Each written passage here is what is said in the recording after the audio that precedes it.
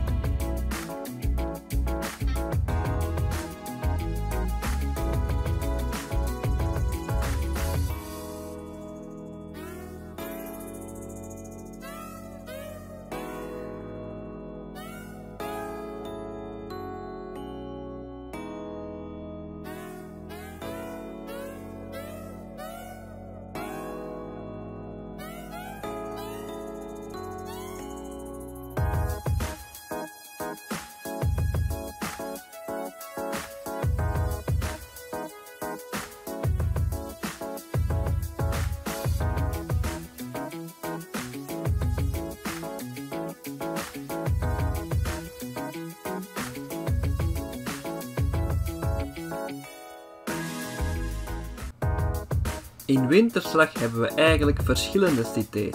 De oudste dateert van 1912 en is ontworpen naar het voorbeeld van Engelse tuinwijken uit het begin van de 20e eeuw. Het centrum van de cité hier is de Evans Copé-plaats. Hier vinden we de voormalige jongensschool, de voormalige meisjesschool en het klooster en de imposante Heilig Hartkerk. Het klooster en de meisjesschool werd in de jaren 20 gebouwd door de architect Adrien Blomme. Het complex vormt een essentieel onderdeel van het concept van deze wijk.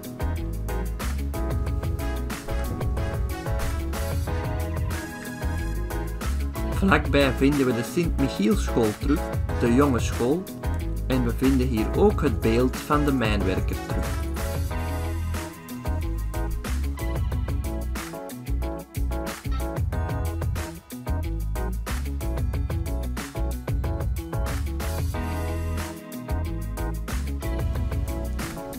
We zijn hier nu in Winterslag aan de Heilig Hartkerk. En dat is eigenlijk de mijnkathedraal van Winterslag. Deze is gebouwd in natuursteen en is voor mij persoonlijk de minst interessante mijnkathedraal, omdat deze er niet zo kathedraalachtig uitziet, zal ik maar zeggen. Dat komt door de type steen, die natuursteen. Het is dus geen zwarte kerk. En door de grootte. Het is ook niet zo'n imposante reus als die andere. Maar toch nog wel eens de moeite om eens te bezoeken.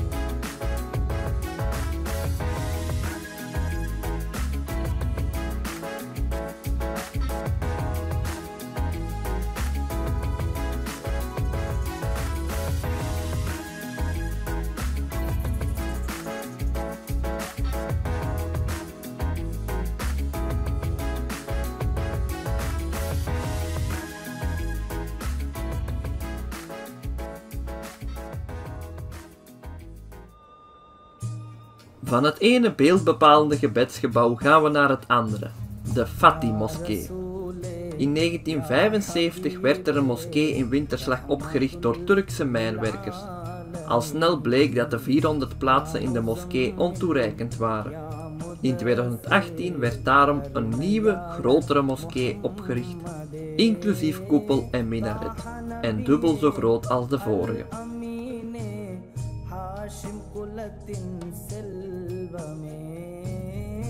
Dit type moskee verschilt duidelijk van de Hassan ibn Tabet moskee, een Marokkaanse moskee geopend in 2002 iets verderop in Winterslag. Dit bouwwerk heeft de basiskenmerken van een Marokkaanse moskee met de stompe vierkante minaret. Dan wordt het nu tijd dat we de eigenlijke mijn van Winterslag gaan bezoeken nu bekend als C-Mine en de best bewaarde site samen met de B-Mine van Beringen. Dit is de oudste steenkoolmijn van het Kempen steenkoolbekken. Men begon al in 1912 met het graven van de schachten en in 1914 bereikte men de koollaag op een diepte van 485 meter. En in 1917, tijdens de Eerste Wereldoorlog nog, werd de mijn al geopend het is daarmee ook de enige mijn die al operationeel was in het leven van bezieler André Dumont die in 1920 overleed.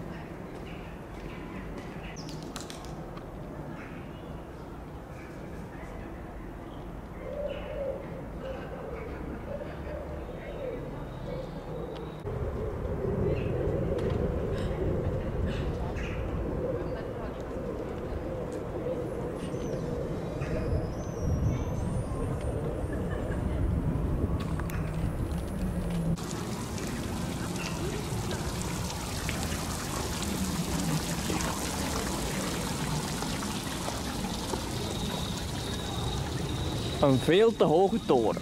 Ja, als we kunnen gaan we die beklimmen natuurlijk. Met mijn hoogtevrees. Ja, altijd weer doe ik het. Luca, School of Arts. Nu zou je denken, die toerist 2290 heeft al die schachtblokken al gezien. Die moeten toch niet meer impressionant zijn? Wel, ze zijn nog altijd magnifiek. Prachtig. C-Mine is echt, samen met B-Mine van Beringen, de mooiste van de coalmine cities. Geopend in 1917 en dus de oudste steenkoolmijn van het Kempisbekken. Ze sloot wel niet als laatste, ze ging in 1987 toe. Nog voor Beringen en Zolder dus.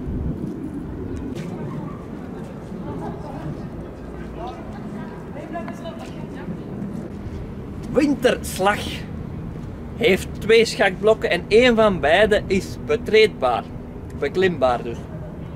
En als het aan mij ligt, en het ligt aan mij, dan gaan we nu omhoog. En ik kom net van een terril, hè. Amai. Een leuk weetje over winterslag. Hier is de oudste en de jongste schachtblok van het Kempis kolenbekken terug te vinden. Aangezien dat hier de eerste mijn geopend werd, is dat niet zo raar, maar dat de jongste hier ook is, is wel strange.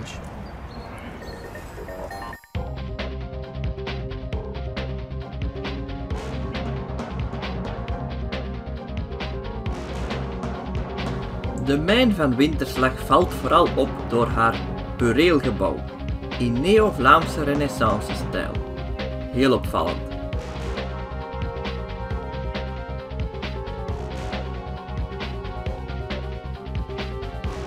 De mijn van Winterslag was weliswaar de eerste mijn die opende, het was niet de eerste die sloot. In 1988 sloten de deuren van de mijn. De mijngebouwen kregen na vele jaren echter een nieuwe bestemming. Een gedeelte is in gebruik door de brandweer van Genk en een ander deel is nu een bioscoopcomplex. Onder de naam Seamine wordt het gebied ontwikkeld tot een kenniscentrum van media en kunst.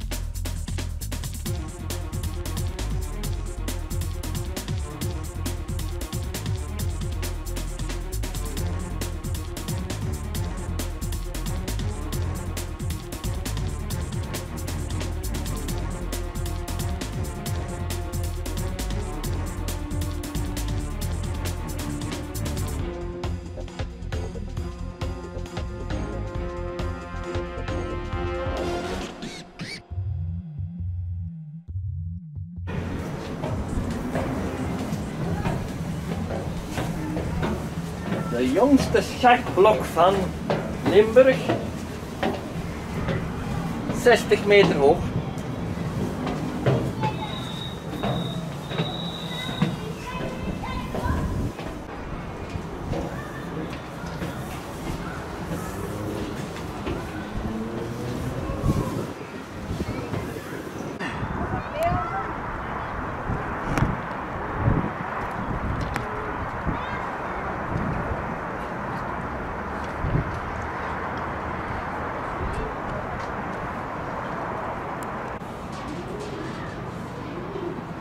Dat is wel mooi. Als ik die vlak naar beneden zie, kan ik niet.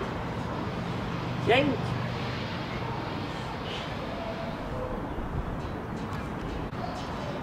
We staan nu bovenop de schachtblok aan de wielen. Veel te hoog eigenlijk. Waarom doe ik het toch? Speciaal voor jullie beste kijkers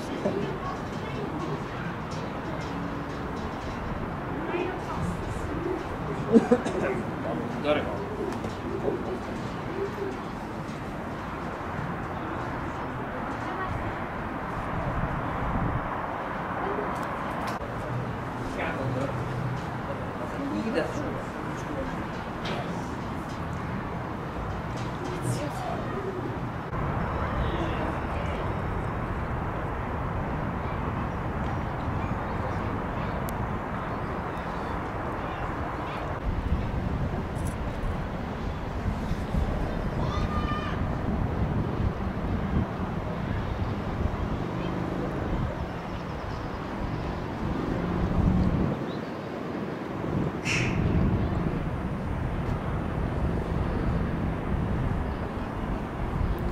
Nog één mijn te gaan. Tot volgende keer in Waterschei.